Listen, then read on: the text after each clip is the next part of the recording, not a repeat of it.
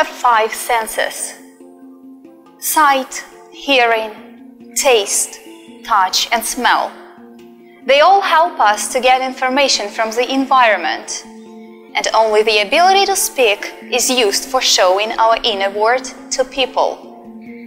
Okay, only to those people who are ready to listen.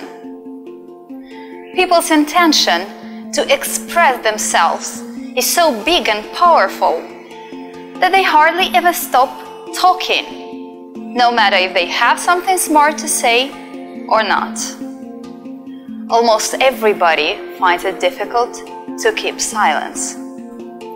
Pause is awkward when it happens in a conversation.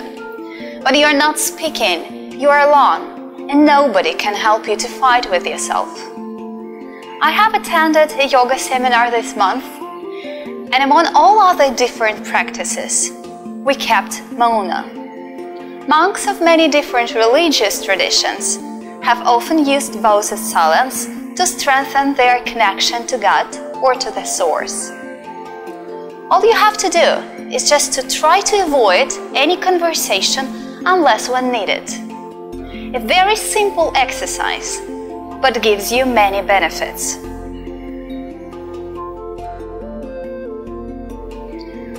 First of all, silence gives rest. Much energy is wasted in pointless talking and gossiping. Even while listening, we are busy thinking about our response. We are constantly brainstorm inside in order to create a funny joke, a barbed remark, or a witty expression. We are always under pressure of a question What will I say? If you take some time to keep silence, you will save more energy and feel relaxed and rested. Besides, silence is creative. More and more, we are required to think outside the box. It means coming up with new ideas. This may be within a business, a school, or any situation in your life. Creativity cannot be found within the known things. Creativity means to bring the new into being. All thinking about is simply chugging with the old. Creativity needs the silence of non thinking. You have to quiet the chattering mind, and there, in silence, you will see new ideas occurring in your mind. Moreover, silence is truth. Words become more and more deceptive. A word of a man is worth nothing. We talk so much that we don't pay attention on what we say. Silence teaches you to weigh every word, and your speech becomes more reasonable and truthful. It is really good to have control over speech and not vice versa.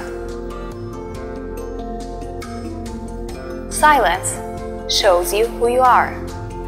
When you are interacting with other people, it is difficult to study yourself as you are being extrovert and focusing on them. If you are alone for an hour or even for half an hour, you can gradually begin to observe and understand the functioning and patterns of the mind, which leads to self analysis and contemplation.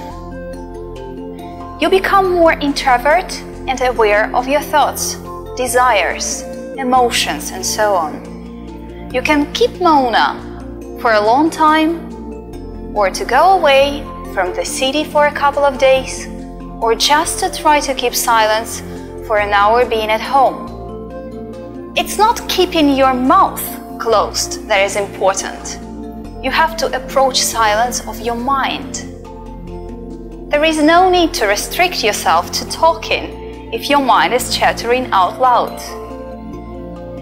Living your life without periods of silence is like playing music without silence between the notes.